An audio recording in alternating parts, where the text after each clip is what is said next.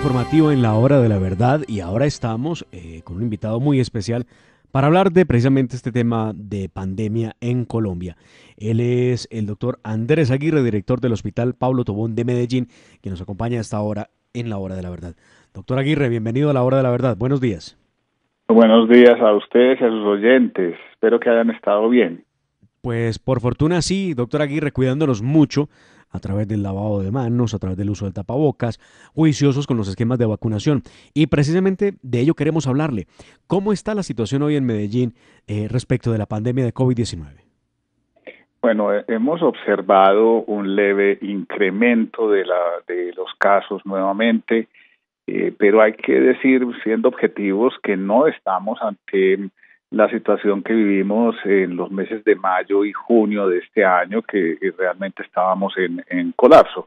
Eh, todo parece indicar y realmente Colombia ha avanzado en la, en la vacunación y sea el momento pues nuevamente de invitar a toda la gente a que se vacune, a que se revacune y a que sigan las medidas. Entonces sí estamos observando un leve aumento de casos, no tan, eh, no tan severo que los profetas que, ha habido realmente se pueden equivocar muy fácilmente. Le voy a poner un ejemplo.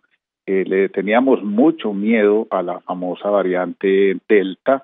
Eh, sin embargo, en Antioquia y en Colombia estaba eh, circulando una variante que se denominaba Mu, que resultaba ser más peligrosa y, y el Delta desplazó a la variante Mu y resultó siendo un poco menos severo que esta variante de la que le estaba hablando. Así que eh, es bien complejo una situación de, de estas porque este virus, eh, como estamos viendo, muta, genera nuevas, nuevas variantes.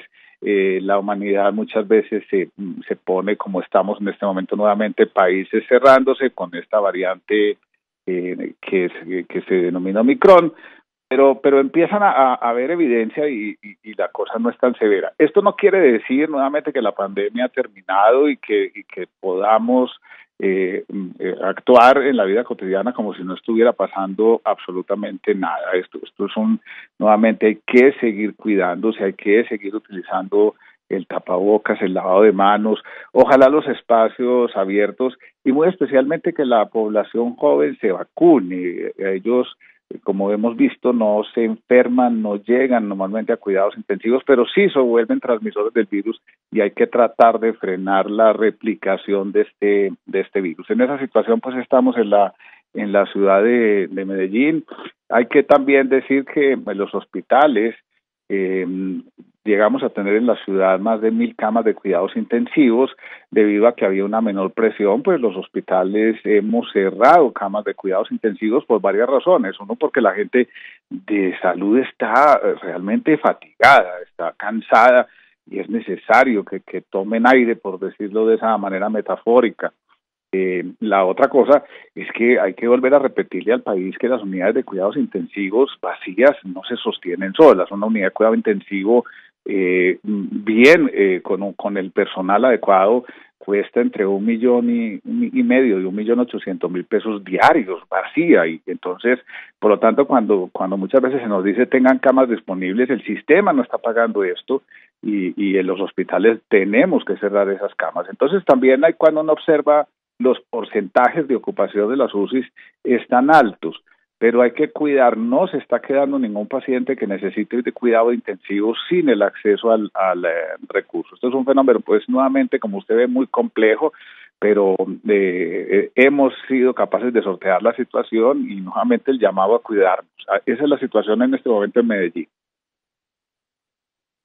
Doctor Aguirre, muy buenos días y bienvenido a la hora de la verdad. Un gusto tenerlo acá yo quisiera hacerle una pregunta que, siempre me ha causado, digamos, eh, duda y la he leído en algunos artículos alrededor del mundo. Pues sabemos que en esta época en Colombia, pues se ve el invierno eh, bastante fuerte, ha bajado, por lo menos en la ciudad de Bogotá en estos días, pero venía lloviendo muy seguido. Y también pues a, lo largo y ancho del mundo pues hay época de invierno, lo cual quiere decir que las temperaturas bajan. Y pues eh, si usted ve el histórico antes, inclusive del COVID, los casos de gripa, eh, enfermedades relacionadas, digamos, con el cambio de temperatura, pues aumentaban y había un pico de mortalidad también considerable. Esto puede ser causal también de que estos casos del COVID se hayan eh, subido un poco en la ciudad de Medellín o pues alrededor del mundo que vemos que hay otros picos. Eh, sí, eh, importante esa pregunta y, la voy a dividir en esto. Em, Normalmente en las épocas, cuando hablamos de invierno en Colombia y de invierno en el, en el hemisferio norte, nos estamos refiriendo a dos realidades diferentes, porque nosotros le llamamos invierno a la época de lluvias y obviamente en el hemisferio norte pues no, no, no es solamente la lluvia, sino el descenso dramático de la temperatura y la, y, la, y la nieve en ciertas latitudes. Lo que sucede en Colombia en la época lluviosa, y separo la respuesta en los niños, empezamos y hemos tenido un incremento de una enfermedad viral que ataca la vía, los pulmones, que normalmente es producida por un virus que llamamos el virus respiratorio sincitial y hemos tenido una presión de los niños. Esto no es COVID, pero presiona las camas eh, pediátricas de cuidado intensivo y es importante porque algunas de estas camas en Colombia, no solamente en la ciudad de Medellín, se cerraron por varias razones. Uno, porque el personal que estaba dedicado a ellas se dedicó a cuidar las unidades de cuidados intensivos de adultos y algo también que es bueno que el país sepa, porque el, eh, que se cierran servicios de pediatría porque desafortunadamente las tarifas que reconoce el sistema de salud por los servicios pediátricos no permiten la sostenibilidad de estos servicios. Entonces ahí hemos tenido una presión en los servicios en los servicios pediátricos. En, en el servicio de adultos, sin duda, la, la época de lluvias también aumenta los problemas respiratorios, pero hay que decir que cuando alguien tiene un problema respiratorio y no es COVID, es porque estuvo en contacto con otra persona y por lo tanto hay que suponer que no usó adecuadamente los elementos de protección o no tuvo el distanciamiento, el distanciamiento debido y el, y el lavado de manos. Entonces sí hay una presión.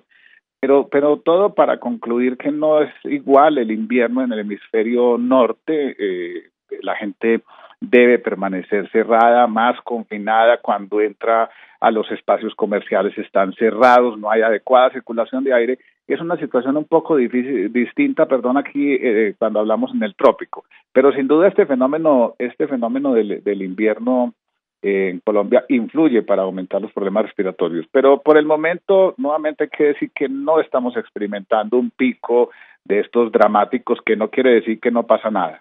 Pues doctor, le agradecemos mucho a usted por atendernos a esta hora, sabemos de sus ocupaciones, y le agradecemos y le deseamos un feliz día. Estaremos en contacto para seguir analizando lo que va ocurriendo en la bella ciudad de Medellín con el virus eh, COVID-19, que como usted lo ha advertido, no estamos en una situación apremiante, pero tampoco es para bajar la guardia, es para seguir con todos los cuidados que se nos ha indicado por parte de la Organización Mundial de la Salud y por parte de las autoridades sanitarias en cada uno de los municipios y departamentos. Doctor Andrés Aguirre, muchísimas gracias. A usted, Nicolás del Mar, y eh, muchas gracias y a sus oyentes. Un buen día y por favor se cuiden. Hasta luego. Hasta luego. Andrés Aguirre, director del Hospital Pablo Tobón de Medellín, estaba con nosotros en la hora de la verdad. Y avanzamos. Vamos a escuchar al maestro Carlos Alberto Montaner y posteriormente llegaremos para hablarles a ustedes al oído.